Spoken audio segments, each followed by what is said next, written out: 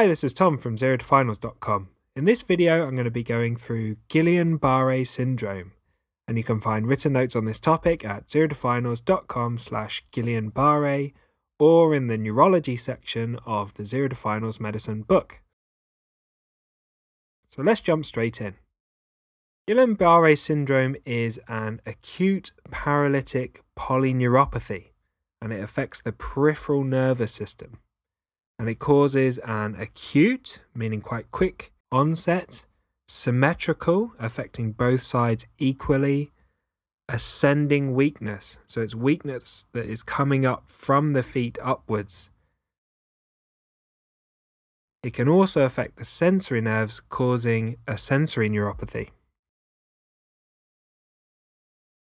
It's usually triggered by an infection and is particularly associated with gastroenteritis caused by Campylobacter jejuni or infection with cytomegalovirus or Epstein-Barr virus. So what's the pathophysiology? Guillain-Barré is thought to occur due to a process called molecular mimicry, and this is where the B cells of the immune system create antibodies against the antigens on the pathogen that's causing the preceding infection. So, if they've got a Campylobacter gastroenteritis, the B cells of the immune system create antibodies against that Campylobacter. And these antibodies also match proteins on the nerve cells. They may target proteins on the myelin sheath of the motor nerve or on the nerve axon itself.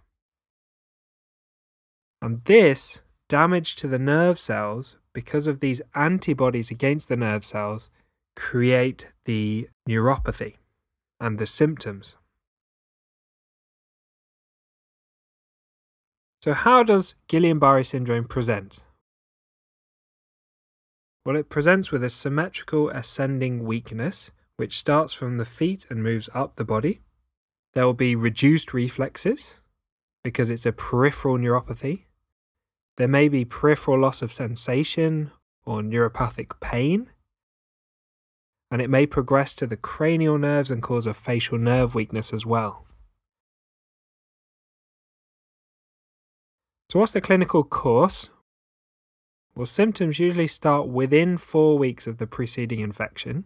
So, they may, in your exams, have had a gastroenteritis four weeks previously. The symptoms typically start in the feet and progress upwards, and the symptoms peak within two to four weeks, and then there's a slow recovery period that can last months to years.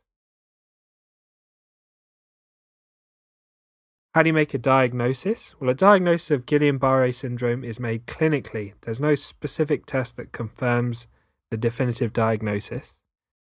There's some criteria called the Brighton criteria that can be used for a diagnosis, and it can be supported by investigations such as nerve conduction studies, which show reduced signal throughout the nerves, and lumbar puncture to test for the CSF.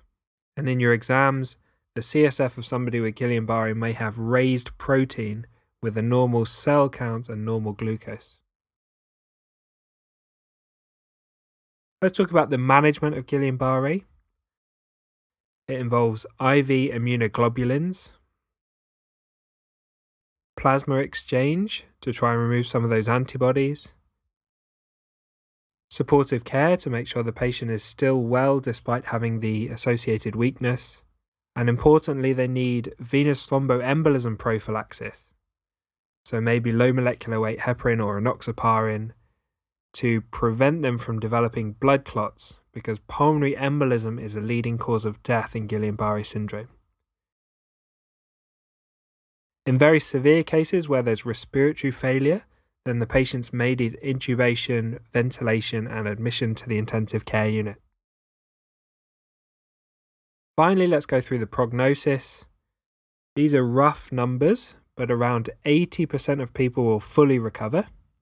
15% will be left with some sort of neurological disability, maybe some slight weakness or some neuropathic pain, and 5% of patients will actually die from the condition. Thank you for watching this video. If you liked the video, left a comment, or subscribed to the channel, thank you so much, it really helps. Zero to Finals is not just a YouTube channel, there's also a website with detailed notes, illustrations, and questions, an Instagram account where new questions are posted every day to help you test your knowledge, books, flashcards, and much more. I also have a personal channel where I share my thoughts and tips on learning medicine, and you can find links to everything in the description of this video. See you next time.